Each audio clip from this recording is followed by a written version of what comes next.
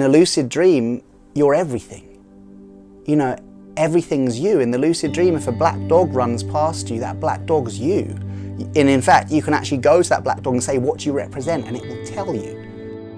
In a lucid dream, you can meet your fear. You can literally call out to meet your fear. Uh, God, yeah, when did I start lucid dreaming? Like 16 and I'm 31? That's 16, 15 years? So my name is Charlie Morley and I teach something called Mindfulness of Dream and Sleep, which is a holistic approach to lucid dreaming practice within the context of mindfulness meditation and Tibetan Buddhism. Lucid dreaming for me, uh, apart from anything else, is really fun. This is, this is one of the reasons probably why you can just keep doing it for so long, it never gets old.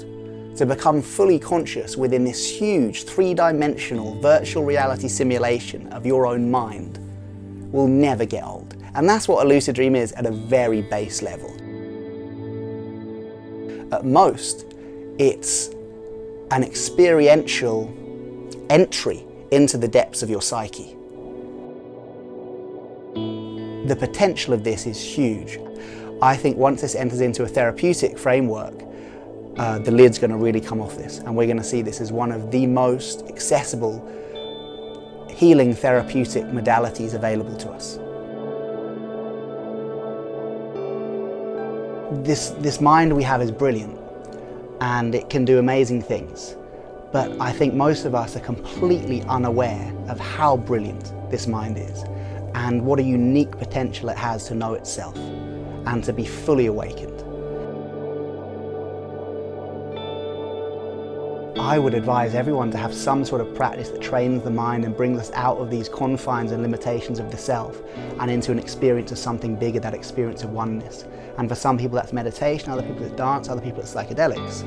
Um, I would say neither is right nor wrong, but this emergence out of the confines of the self I think is really important for people to have if they can. You know sometimes if you have like a really hectic dream, you can wake up in the morning and you almost feel tired. I mean it's just psychological tiredness, but you really feel like your brain's been kind of, you know, really active in creating this, uh, this scenario. Well your brain has been.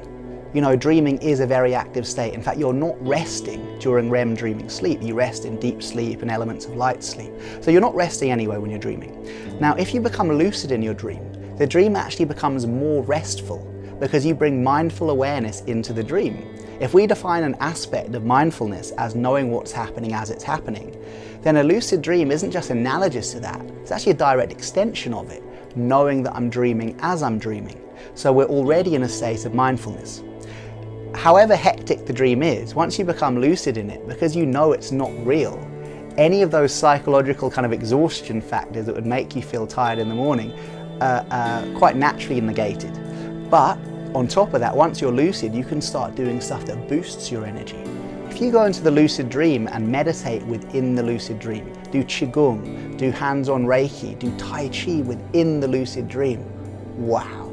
And the next day you are buzzing like a fridge. I remember when I was 15, I read a book called Sophie's World. And I read it just the time I was doing my um, GCSEs. And in this, it's the story of a young girl receiving uh, philosophical teachings from this other character. And there's a section on Buddhism. Now, I read the book and it was a brilliant book, but the bit that really chimed for me was Bu with Buddhism. Around this time, I was also listening to a lot of Wu-Tang Clan, you know, the hip-hop group, who had all these samples from Shaolin Kung Fu movies. Suddenly it seemed like, oh, Wu-Tang Clan think Buddhism's cool. Shaolin Kung Fu, that's cool, that's masculine, they're you know, good at fighting and stuff. So I think I was aware of it from about 16, but then at 19 I made the commitment and took refuge where you formally become a Buddhist.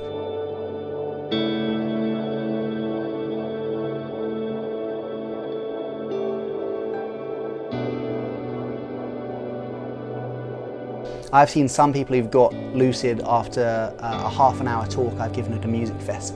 Other people who've got 20 years of Buddhist meditation practice, they come in, it takes them ages, you know, months to have their first lucid dream. Totally, totally depends. Two major factors here though.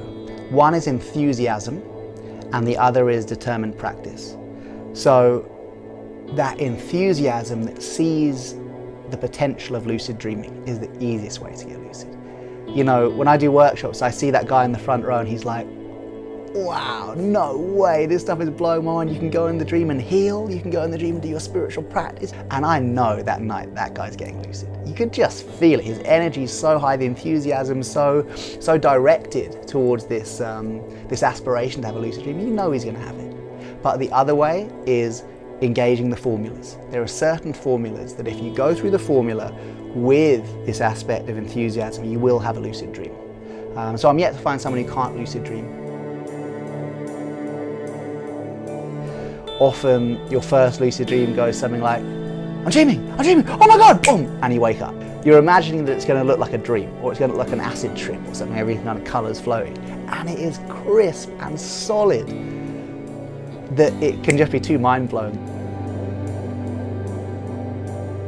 So imagine an hour walking around or flying around this huge virtual reality simulation of your mind in which the healing work that you do within it permeates the very deepest level of mind, allowing you to work with addictions, phobias, negative thought programming, confidence issues while you sleep, as well as doing your spiritual practice in bed.